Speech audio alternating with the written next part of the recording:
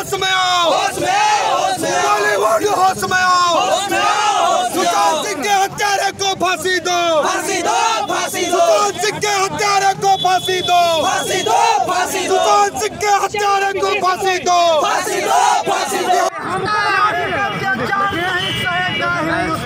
नहीं सहेगा हिंदुस्तान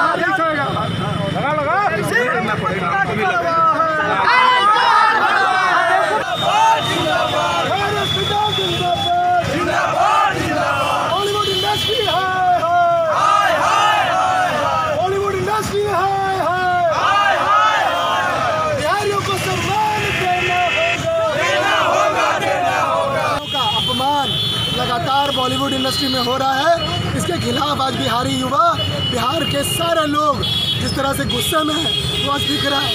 लगातार बिहारियों का अपेक्षा बॉलीवुड इंडस्ट्री की तरफ़ से हो रहा है। एक ऐसा कलाकार जो लगातार हिट फ़िल्म दे रहा था, लगातार बढ़िया कार्यक्रम कर रहा था, लगातार बॉलीवुड में छाया हुआ था, उसको गिराने का काम, उसको मारने का काम बॉलीवुड इंडस्ट्री ने किया है।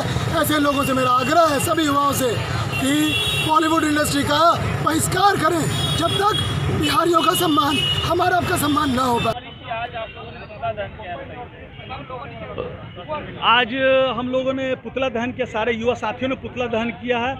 कहीं ना कहीं सुशांत सिंह राजपूत जो हम लोग जैसे मध्यम परिवार की तरह, वो भी मध्यम वर्गीय परिवार से हैं। पूर्णी, बिहार के एक छोटे शहर पूर्णिया के रहने वाले हैं। जिस तरीके से उन्होंने संघर्ष करके फ़िल्म इंडस्ट्री में अपना जगह बनाया, एक मुकाम बनाया, कहीं ना कहीं ये बात जो बड़े घर के लोग हैं, जो बड़े स्टार्स हैं, उनको कहीं ना कहीं ये बात रास नहीं आया। और उन्हें प्लान करके, पूरी ताकत से उन्हें प्लान करके, चार तरफ़ से इनको फ़िल्म में बैंड किया गया। करण जौहर ने अपने प्रोडक्शन हाउसेज में उनके फ़िल्म को बैंड किया, ताकि वो कहीं ना कहीं मजबूर होकर सीरियल्स की तरफ़ रूट अपना लें। और सलमान खान का भी इसमें हाथ है। सलमान खान, करण जौहर, ये सब लोगों ने मिल के इनको परेशान किया और आलिया भट्ट ने कुछ दिन पहले करण विद कॉफ़ी में कहा था कि ये सुशांत सिंह राजपूत को गोली मार देनी चाहिए। कहीं ना कहीं ये बिहार अस्मिता का सवाल है। कहीं ना कहीं हम युवाओं का सवाल है। और कहीं ना कहीं हम लोग मध्यम वर्गीय का सवाल है।